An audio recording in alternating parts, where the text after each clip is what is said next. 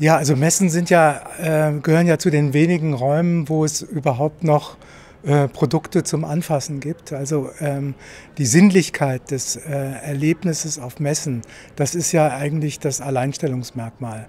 Und ähm, je digitaler unsere Welt wird, je mehr Vertriebskanäle es gibt, umso wichtiger wird ein Ort sein, wo man äh, mit Leuten über Produkte reden kann, wo man die Produkte selber anfassen kann und sich dafür entscheiden kann, beziehungsweise sicherstellen kann, dass die Entscheidung für die Produkte richtig ist.